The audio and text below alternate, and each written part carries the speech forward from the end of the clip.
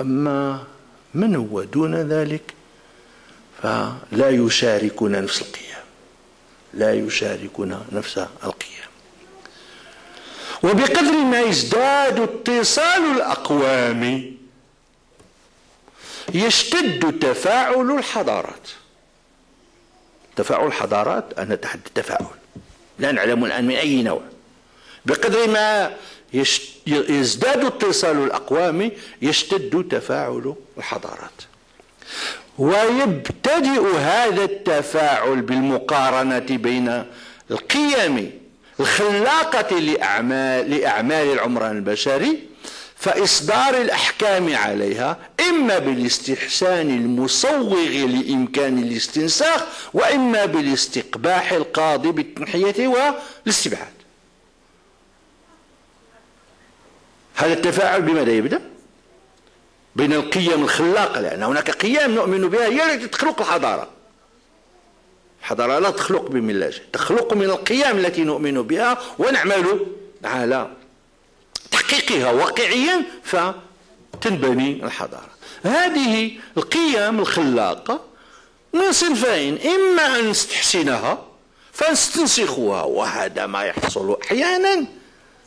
بيننا وبين من سبقنا نستحسنها ونستنسخها كما يحصل للضعيف بالنسبة إلى القوي. وإما أن نستقبحها نجدها قبيحة ونستبعدها وننحيها كما يحصل العكس. ضعيف يستحسن قيم القوي. ويستنسخها والقوي يستقبح قيم الضعيف ويستبعدها. هذا أصل ثابت. أصل ثابت في تفاعل الحضارات. وإن اللغة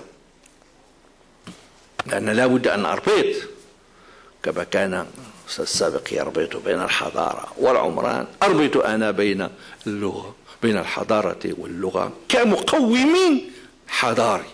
وإن اللغة كإحدى القيم الحضارية تمر في كل الحضارات بطورين اثنين. أريد الآن أن أذكر نوعا من التفاعل. اللغات البشرية كل اللغات البشرية لا بد أن تمر بطورين اثنين الطور الأول وهو الطور الشفوي لا تكون فيه مكتوبة. والطور الثاني وهو حينما تكون مكتوبة. يدون بها عمل الإنسان يحصل بها التدوين. أريد أن أتحدث هنا عن نوع من التفاعل وهو الذي سوف آتي إليه. وهو أن الذي حصل بين الحضارة العربية أو حضارة القرآن لا أتحدث عن الحضارة العربية عن حضارة القرآن أنه الذي حصل حينما احتكت بحضارة الأقوام في الأمصار المفتوحة من المسلمين استفادت لغات كثيرة من اللغة العربية فانتقلت من طور الشفوي إلى طور الكتابي وهناك عشرات اللغات التي حصل لها هذا الأمر فكانت هناك استفادة. هذا التفاعل أدى إلى سد الثغرات أن حضارة بعينها تكون في أحد مكوناتها أقل من غيرها فتسد الثغرة بهذا النوع من التفاعل الذي سوف أتحدث عنه في المبحث الموالي. التفاعل الحضاري أريد الآن أن نتحدث عن التفاعل الحضاري.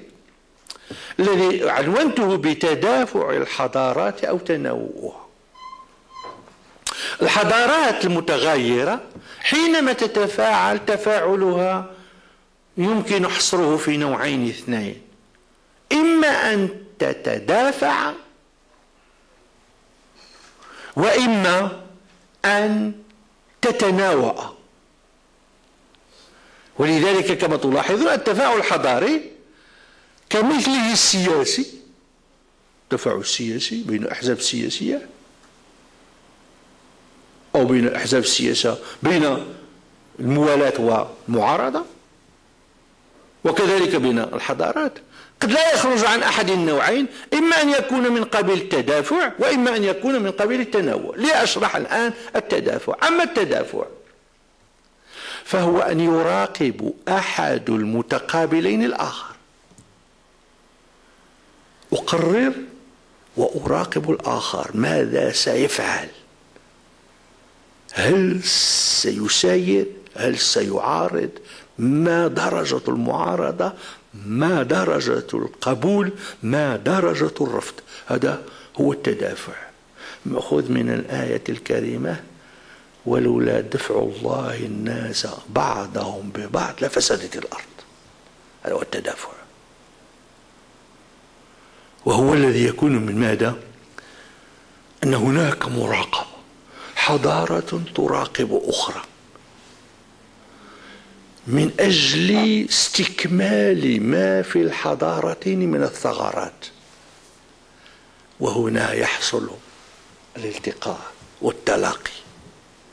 حضارات تتدافع بمعنى كل حضارة ترغب في أن تسد ما بها من الثغرات والنقص بالاستعانة بين الحضارات الأخرى. فيحصل التفاعل ويحصل التكامل ويحصل سد الثغرات وتتعايش الحضارات وتتكامل وتتفاعل ايجابيا ويحصل التقدم الحضارتين معا وتعايشهما معا دون أن يؤدي ذلك إلى اصطدام أو إلى صراع. هذا هو التدافع بين الحضارتين المختلفتين. إذا التدافع فهو أن يراقب أحد المتقابلين الآخر ويترصد كلاهما ما يتخذ الطرف المقابل من قيم التدبير ويفحص جدواها ويحسب مردودها ويقدر درجة الانتفاع بها حضاريا أو سياسيا ومن أهم ما يترتب عن تفاعل التدافع سواء كان حضاريا أو سياسيا يمكن إجماله فيما يلي. أولا المراقبة الذاتية التي تقتضي بأن لا يجازف أحد المتدافعين بتفعيل قيم تجلب المضرة وتنفع المنفعة. وتدفع المنفعة. وإلا عجل بإدخال الصلح الحضاري والنظام السياسي في طور الانحصار المنتهي في الغالب بالاندثار حينما وهذا ما يحصل حاليا ويحصل في الحضارات كل التي اندثرت وانقرضت. حينما لا يقيم أصحاب حضارة وزنا لغيرهم ويفعلون ما يشاءون من القيم يعجلون باندحار الحضارة وبسقوطها. وسوف آتي بنماذج. إذا التدافع نافع للحضارات ولا يضرها يجعلها تتعايش وتتكامل. وت... و... و... وتنمو معا في خطين متوازيين. وها هنا يمكن أن نتحدث عن مفهوم. الخاصية الثانية كما قلت هو الانتفاع المتبادل يحصل الانتفاع المتبادل الذي يستوجب من كلا الطرفين أن يطلع على الآخر واحد وأن يعرفه حق المعرفة كي يتفادى هفواته ويحفظ صوابه. ما كيد شي ضرر حضارة تطلع على الأخرى. وتعرفها معرفة جيدة ولا تتخذ موقفا سلفا ثم تفحصها وتعرف ما فيها فتأخذ ما فيها من الصواب وتترك ما فيها من الفوات فتنتبه. ويحصل ذلك في الحضارتين معا. كي يتفادى ويحفظ؟ فيضمن الانتقال إلى طور من التمدن أعلى ويصون البناء الحضاري أو السياسي من التصدع من الانهيار التدريجي. هذا هو الخاصية الثانية في الحضارات المتدافعة. سيد ربي ويكون التفاعل من قبيل التدافع بين حضارتين بقاعدة واحدة متغيرتين ثقافيا متقاربتين اقتصاديا وعسكريا. هذا نوع من التدافع. يكون التدافع والتفاعل من قبل التدافع بين حضارتين بقاعدة واحدة متقاربتين ثقافيا متغيرة عفوا ثقافيا متقاربتين اقتصاديا وعسكريا. وهناك نماذج يعني عينية يمكن أن نسردها في هذا الباب. التفاعل النوع الثاني في مقابل التدافع نتحدث عن التنوع الحضاري. يقوم التنوع على انكفاء أحد الطرفين على ذاته وإلغاء الطرف المقابل. أنا وبعد الطوفان هناك انكفاء على الذات وإلغاء الطرف المقابل. وإن كان أح... وإن كان هذا الأخير الطرف الآخر هذا الأخير وإن كان منفتحا لا يعامل مقابله من جنس فعله هو الذي يحصل لنا الآن. هناك إلغاء نهائي انكفاء على الذات وإلغاء وفي المقابل هناك انفتاح. وتف... وتعامل مع الطرف الآخر ليس من جنس فعله. ليس من جنس فعله. وهو الإلغاء والانكفاء و وطبعا هذا لعدم الاستطاعة. هذا كله حاصل لعدم الاستطاعة. لا نعامل لا يعامل القوي لا يعامل الضعيف القوي من جنس فعله لعدم الاستطاعة وهو الذي يحصل الآن في الواقع هو هذا الواقع.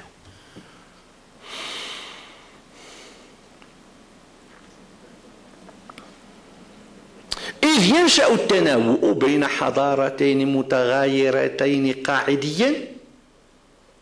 لهذه الحضارة قاعدة تقوم عليها. قاعدة التمدين وللحضارة الثانية قاعدة الدين المغايرة متغيرتين قاعديا متفاوتتين اقتصاديا وعسكريا وغالبا ما يتجلى هذا الضرب من التفاعل الحضاري في الاصطدامات العسكرية المتقطعة. حروب.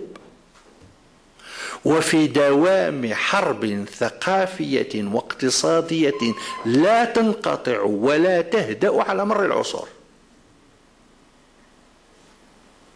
هذا هو نوع تناوع يظهر هناك آه، صراعات عسكرية متقطعة في فترات ولكن الدائم هو حرب ثقافية أبدية واقتصادية. لا تنقطع ولا تهدأ.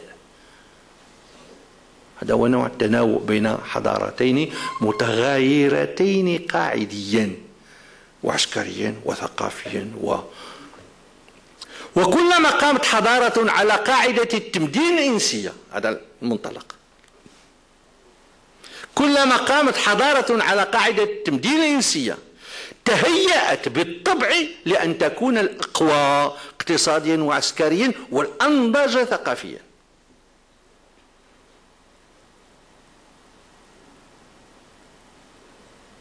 يكفي أن تكون حضارة تؤسس نفسها على قاعدة تمدين إنسية في هذه الحالة سوف يحصل فيها من الازدهار الثقافي والاقتصادي والعسكري ما لا نهاية له.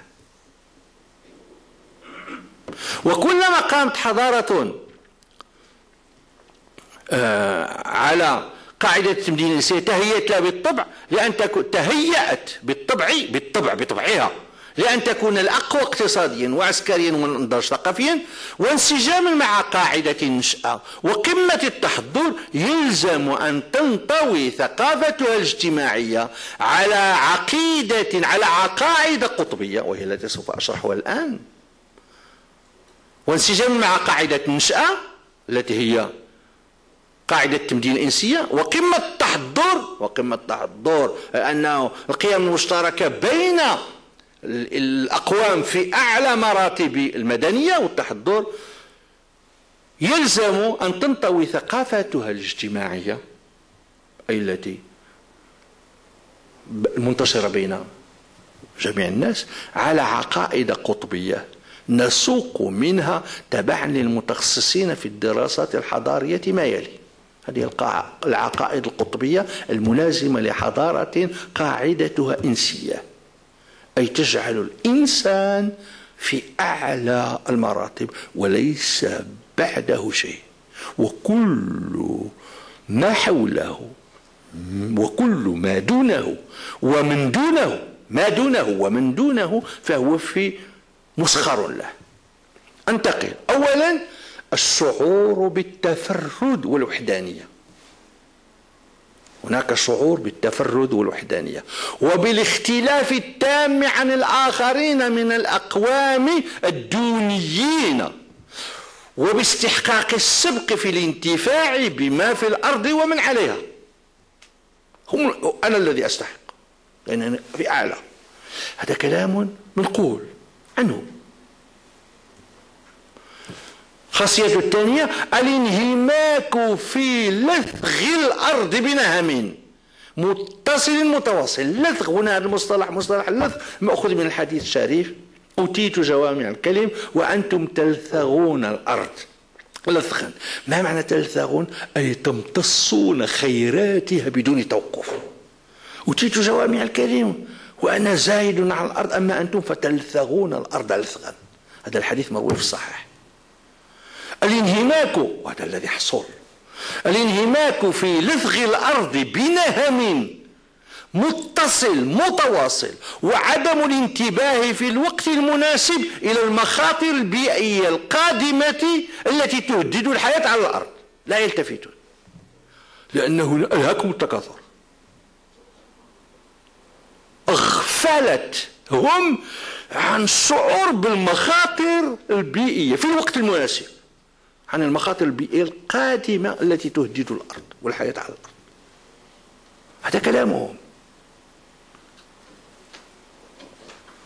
الاقتناع التام هذه من العقائد الاجتماعية. الاقتناع التام بأن المال المتوفر والتجديد المتواصل يسمحان بتجاوز كل العقبات السنخية الملازمة للنظام الحضاري المقام على قاعدة التمدين الإنسي. ليس هناك شيء لا نستطيع أن ندركه. كل شيء في الإمكان. العقائد. الخاصية الموالية الاعتقاد الراسخ بأن التطور الحضاري مرهون بالتقدم التكنولوجي الذي بفضله يتأتى الحصول على كل شيء. ليس هناك شيء لا يمكن أن لا نصل إليه. بدليل أن ما كان في الماضي القريب من قبل المستحيل صار الآن عاديا مألوفا. التغافل الخاصية الموالية التغافل عن قانون العمران البشري الذي يوجب للحضارات المؤسسة مدنيا أعمارا متناهية. كل حضارة مؤسسة على قاعدة مدنية فتخضع لقانون الأعمار المتناهية. كأعمار البشر المحدودة. إذ لا حضارة بدائمة. وخاصة المؤسسة مدنيا فهي تنشأ نشأة الأفراد ثم تأخذ في النمو بوتيرة متصاعدة حتى إذا بلغت الحضارات أشدها شرع نموها في مختلف المجالات يتوقف تدريجيا وهو الذي يحصل الآن. وبسكونه التام يبدأ الانحدار الحضاري المنتهي بالاندثار والانقراض ويقدر عمر الحضارات ما بين 200 و 600 سنة.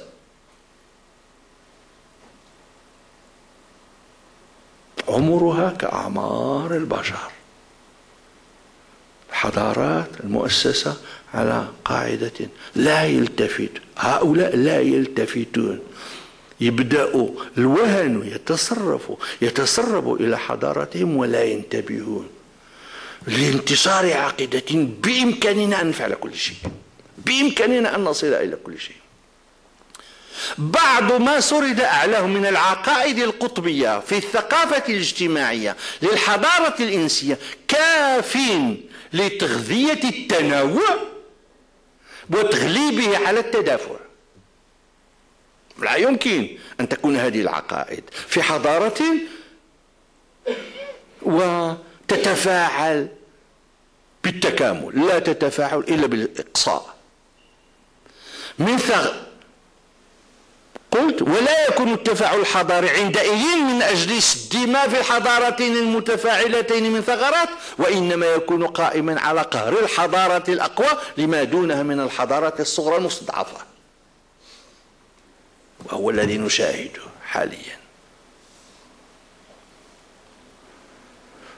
اللغات أنتقل الآن انتهيت منها انتقل الآن إلى الميدان اللغة. كيف هذا الذي تحدثنا عنه في الحضارات في قيامها وفي آه، آه، قواعدها وفي معتقداتها وفي ثقافتها الاجتماعية إلى غير ذلك؟ كيف يؤدي ذلك إلى تأثير؟ أن يؤثر ذلك في مجال اللغات وسأتحدث عن التأثير في مجال اللغات ثم سأركز على اللغة العربية. اللغات بحكم وظيفتها التواصلية مع أهلها أو مع إرثهم الحضاري لأن اللغة لا نتواصل فيها فيما بيننا فقط وإنما نتواصل بها مع الإرث الحضاري. بها نقرأ ما خلفه السابقون. يلزمها أن تحافظ. آه قلت. تشكل أول ميدان لاحتكاك الحضارات المتغايرة ماهية والمتفاوتة نضجا وقوة. هذا أول ميدان لتفاعل الحضارات. هذا أول ميدان الخصم نبدأ بهذه. هو البوابة. اللغات هو البوابة.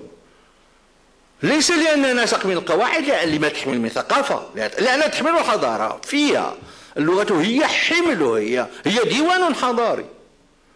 فلذلك تكون في بوابة تأثير التفاعلات الحضارية. وهي الوسيلة المؤهلة أيضا لنقل حضارة من موطنها الأصلي إلى موطن غيرها على الأرض. تنتقل الحضارات من من مواطنها الأصلية إلى مواطن غيرها بواسطة اللغة. لا تنتقل سائرة وإنما تنتقل بتسيل اللغة تركب اللغة دابتها اللغة. فاللغة هي الوسيلة نقل الحضارات. وهي الوسيلة المؤهلة لنقل الحضارة من موطن الأصل إلى موطن غيرها على الأرض؟ فاللغة إذن أول مكون في الحضارة المستهدفة يتلقى تأثيرات نوعية من الحضارة الوافدة. أول عضو في الحضارة المستهدفة هو اللغة. فالحضارة المبنية عمرانيا على قاعدة التبديل الإلهية كحضارة القرآن مثلا يلزمها أن تحافظ على لغات الأمصار وتصونها من الاندثار. ولذلك ما هددت لغة القرآن لغة القرآن لغة مصر من الأمصار أبدا. لغة القرآن تعايشت مع جميع لغات الأمصار وأفادتها معجميا وأفادتها كتابة وقدمت إليها ما قدمت وما دخلت. لغة القرآن مع لغة مصر من الأمصار في صراع أبدا في طول التاريخ أبدا. ولذلك تدخل العربية وتحافظ على اللغات الأمصار تتركها كما هي. ومن أراد أن ينتقل من الأقوام إليها كما فعلت أنا فلا بأس. ولكن لا ترغم لغة على الزوال أبدا. هذه لغة فالحضارة المبنية عمرانيا على قاعدة التمدين الإلهية كحضارة القرآن مثلا يلزمها أن تحافظ على لغات الأمصار وتصونها من الاندثار وأن تسعى إلى تطويرها أولا بنقل الشفوي منها إلى طور إلى طور التدوين باستعمال الحرف القرآني وثانيا بإغناء معجمها عن طريق الترجمة إلى اللغات الأصل وثالثا بسد ما فيها من الثغرات النسقية كانت صرفية أو تركيبية وهو ما حصل مع لغات أوروبية في الأندلس.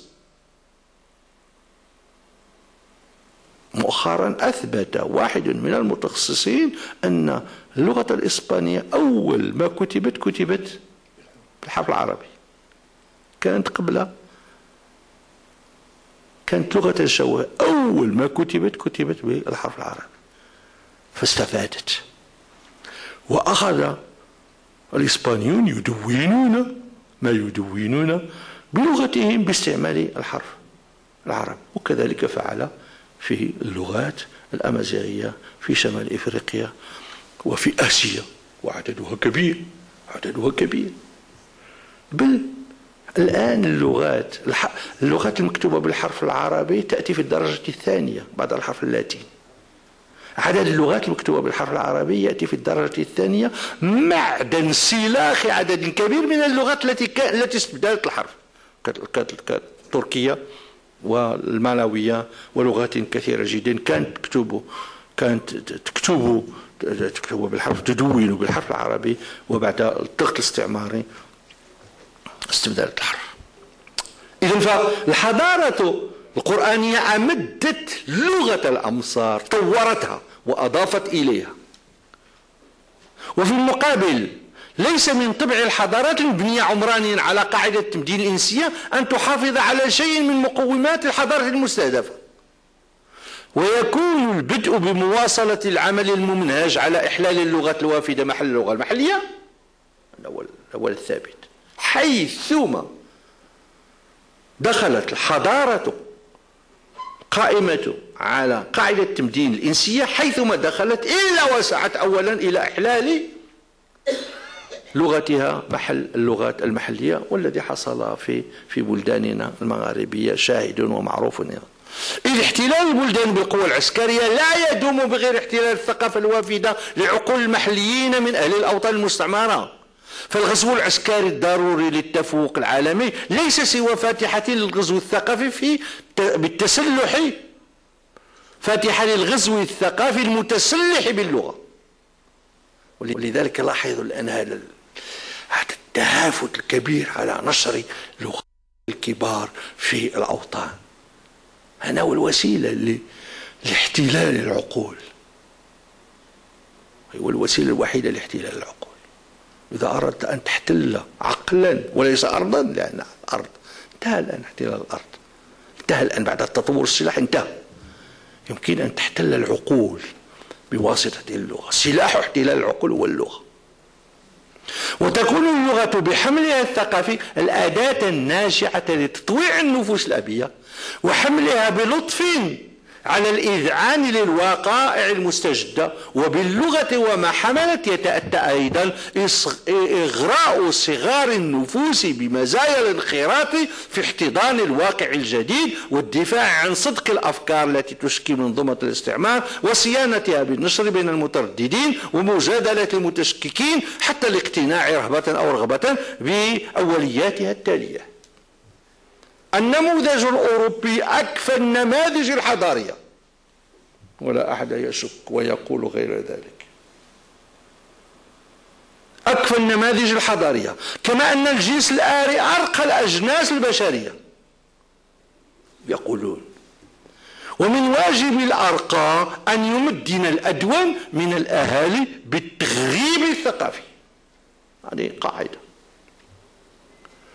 للتمدين لغة خاصة. ليس جميع اللغات تمدين للتمدين لغة خاصة تتمثل في لغات النموذج الحضاري الأكثر وكل مسعى إلى الانخراط في الحضارة العصرية بغير إحدى اللغات الأوروبية مآله الفشل لا محالة. وفي كل دعوة إلى التمسك باللغة الأصلية حكم بتأبيد الذات في التخلف. هذا من أفكار العقائد المنتشرة التي ترتبط باللغة. أنت تمسك بلغتك معنى ذلك أنك تريد أن تؤبد نفسك في التخلف. إذا تعارضت لغة التمدين الوافدة مع لغة الوطن الأصلية وجب تغليب اللغة الوافدة. لما تحمل من ثقافة عصرية تنقل الوطن من حضارة قديمة متخلفة إلى حضارة جديدة راقية هذا